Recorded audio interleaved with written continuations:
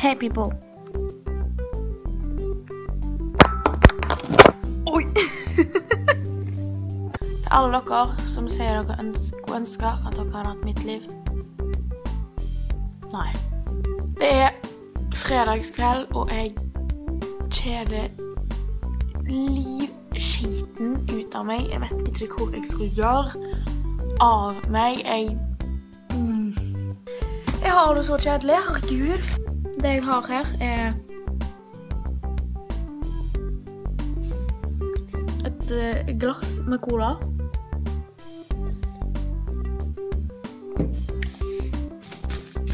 Og pingpongballer.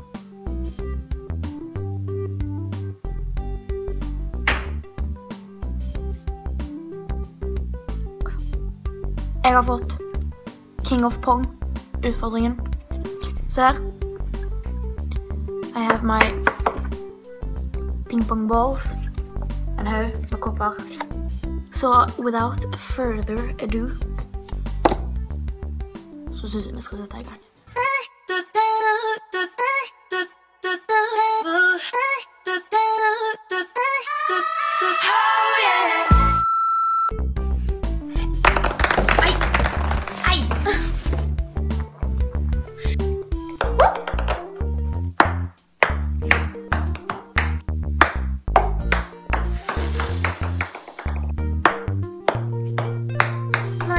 Sofaen.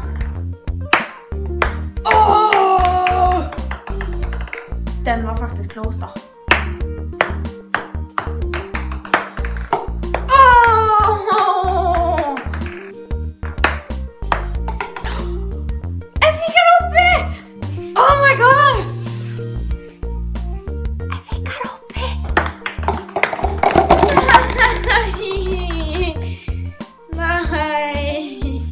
Var jo så heldig å bli utfordra av Simen til å gjøre denne utfordringen her. Men du trenger ikke bli utfordra for å gjøre dette her. Narvesen har satt i gang en kampanje som kalles King of Pong, der du da skal kaste en pingpongball oppi en Narvesen-kopp.